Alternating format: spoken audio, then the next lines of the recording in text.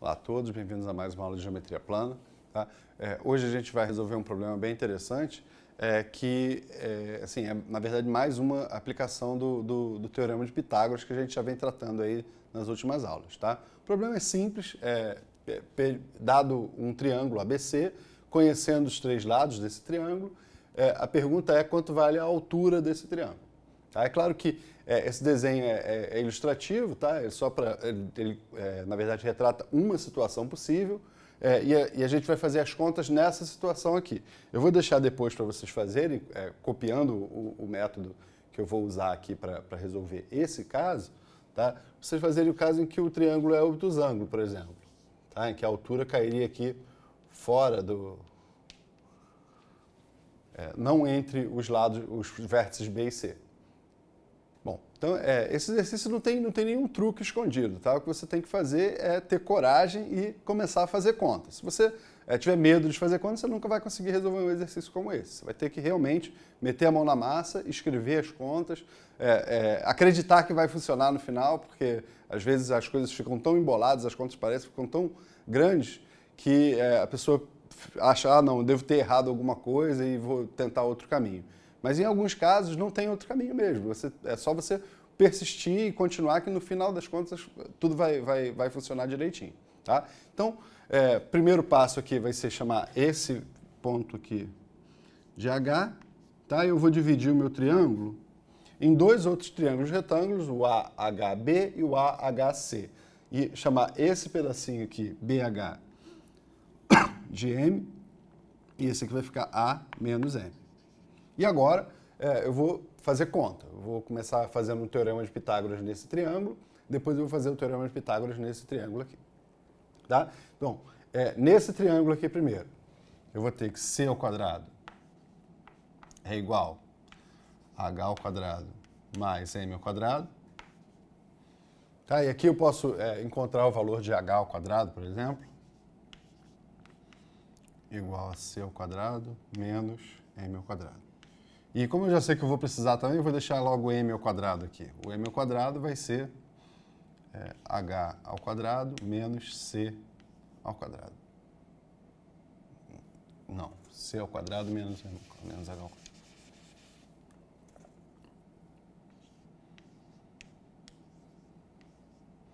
Tá? Então aqui eu vou chamar essa aqui de 1, essa aqui eu vou chamar de 2, Tá? E quando eu precisar, eu já chamo essas duas relações aqui para a próxima. Tá? É, eu vou agora fazer um, um, teorema de Pitágoras nesse segundo triângulo retângulo, o triângulo AHC. Tá? É, e aí eu vou ter que o b ao quadrado vai ser igual a h ao quadrado mais a menos m ao quadrado.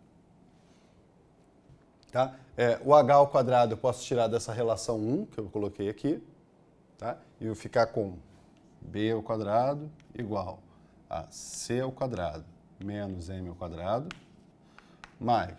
É, eu posso desenvolver essa diferença de quadrados aqui, desculpa, essa, é, esse quadrado da diferença, tá? que vai ficar o quadrado do primeiro menos duas vezes o primeiro vezes o segundo, mais o quadrado do segundo.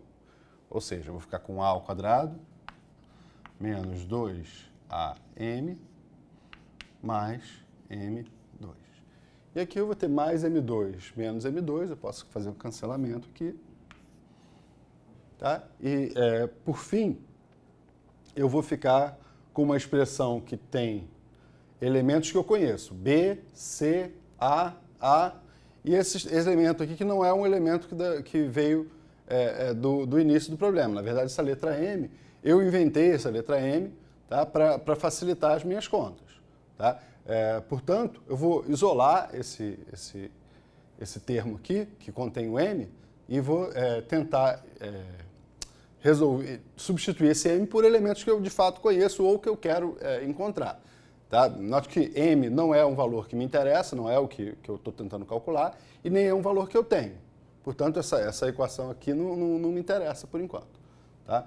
Eu vou ter, então, é, 2AM igual a a ao quadrado mais c ao quadrado menos b ao quadrado. Tá? é, se eu elevar ao quadrado, vai aparecer o m ao quadrado, que é o que eu tenho aqui. Então é isso que eu vou fazer. Eu vou elevar ao quadrado desse lado e igualar ao quadrado é, dessa expressão que eu tenho.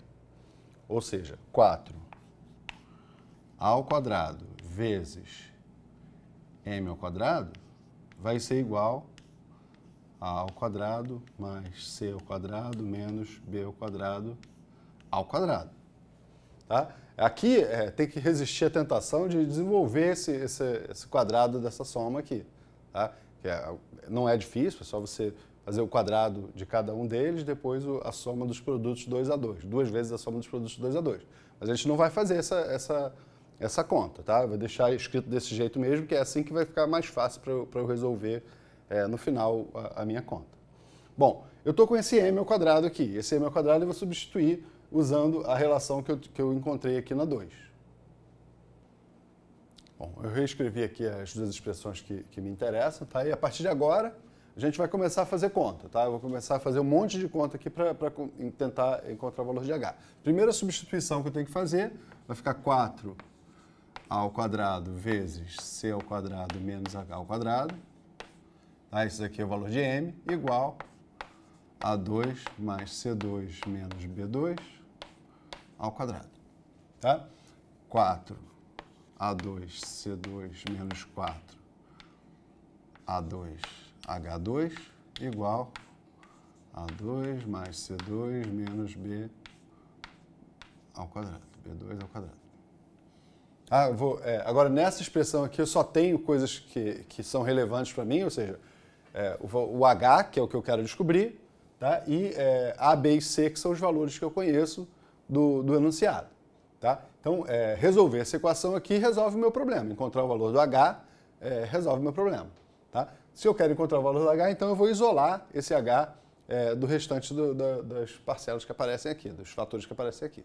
Tá? Então, eu vou ter 4 a2 H2 igual a. Eu já vou escrever assim: 2AC ao quadrado menos A2 mais C2 menos B2 ao quadrado. Tá? Porque esse 4A2C2 nada mais é do que 2AC ao quadrado. Tá? É, e aqui eu já tinha esse outro quadrado, então eu fiquei com uma diferença de quadrados. E aí, é, vale a pena você lembrar que quando você tem uma diferença de quadrados, tá, é, ele pode ser, essa, essa, expressão pode ser fatorada no produto da soma desses dois, é, dessas duas parcelas aqui pela diferença dessas duas parcelas. Melhor, é, a soma dessas duas bases pela diferença dessas duas bases. Tá? Então vai ficar 2AC é, mais essa expressão vezes 2AC menos essa expressão. Tá? E é isso que eu vou continuar aqui. Vou ficar com 4 A2H2 igual. Aí eu vou ficar agora com 2AC mais isso, 2AC mais A2 mais C2 menos B2, vezes 2AC menos essa expressão. 2AC menos A2 menos C2 mais B2. Tá? Agora, é, desse jeito aqui não dá para reconhecer muito bem, mas se eu escrever de novo essa mesma expressão assim, ó, é A2 mais 2AC mais C2 menos B2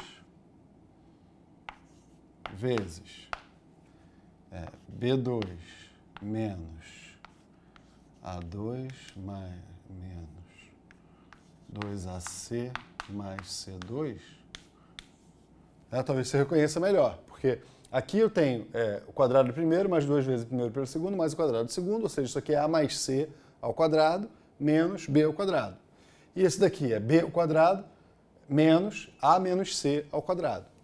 Está reescrevendo, eu vou ter A mais C ao quadrado menos B ao quadrado vezes B ao quadrado menos a menos c ao quadrado. Tá? De novo, eu tenho aqui é, diferenças de quadrados. E essas diferenças de quadrados podem ser substituídas pelo produto da soma pela diferença dessas, dessas bases que aparecem aqui. Ou seja, é, eu vou ficar com a soma desses dois vai ficar A mais B mais C, vezes a diferença entre essas duas aqui vai ficar A mais C menos B. Vezes, nesse, nesse segundo fator, a mesma coisa. Isso aqui vai ficar a soma desses dois, dá B mais A menos C, vezes a diferença, que vai ficar B menos A mais C,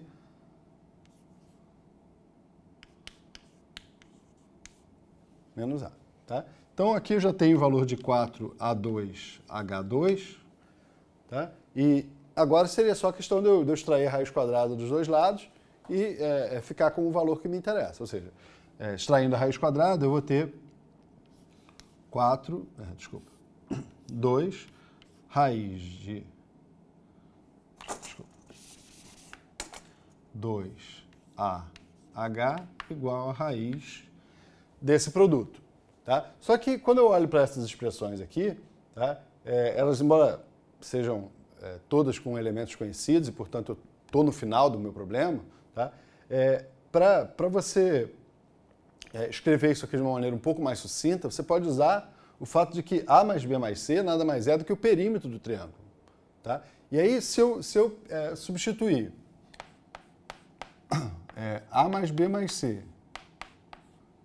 pelo perímetro do triângulo, e a notação de perímetro não é P, é 2P, tá?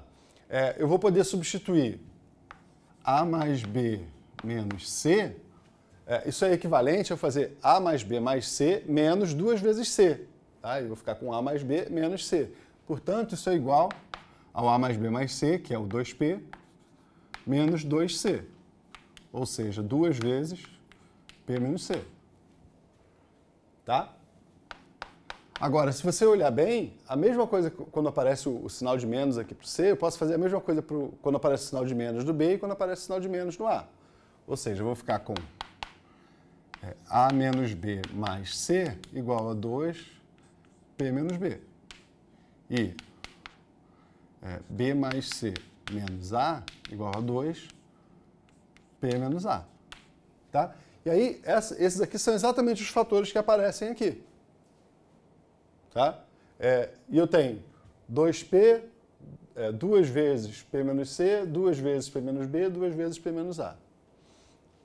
Substituindo isso aqui, eu vou ter o produto é, 2 vezes 2 vezes 2 vezes 2, vai dar 16, vezes P, P menos A, P menos B, P menos C. Tá? Claro que é, raiz quadrada de 16 é 4, né? então eu posso é, é, tirar esse 16 da raiz. Tá? É, eu vou escrever isso de volta para cá. Tá? É, reescrevendo, já tirando a raiz quadrada de 16 aqui da, da, do radical, tá? eu vou ter 2AH igual a 4 vezes esse produto, que, eu, que eu, raiz, é, esse radical que eu, que eu tenho aqui. Tá? E aí o valor de H que era a resposta à minha pergunta, vai ficar é, 4 sobre 2A, vai dar 2 sobre A, raiz de P, P menos A, P menos B, P menos C. Tá? Que é o, o exatamente aquilo que, que eu estava é, querendo encontrar. Na verdade, na verdade, quando eu, quando eu tenho o valor de H, tá, é, fica muito fácil de eu, por exemplo, encontrar o valor da área do triângulo. Né? Porque a gente sabe que a área do triângulo é base vezes altura sobre 2. No caso, a base mede A e a altura é H. Se eu fizer área igual a A vezes H sobre 2, bom, eu substituir o, o H aqui por 2 sobre A, eu vou ter A sobre 2 vezes 2 sobre A vezes esse produto aqui. Ou seja, isso aqui vai ficar a sobre 2 vezes 2 sobre A, raiz de P, P menos A, P menos B, P menos C. Só que é, 2 sobre A é o, é o, inverso de A sobre 2. Tá? Portanto, o valor, essa, esse radical que eu escrevi aqui desse jeito, tá?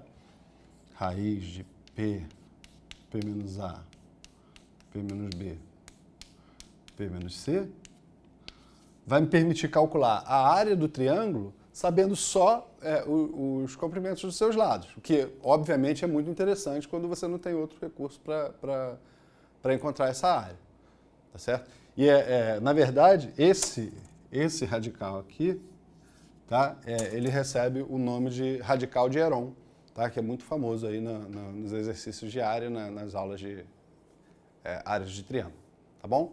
Então por hoje é só, até a próxima.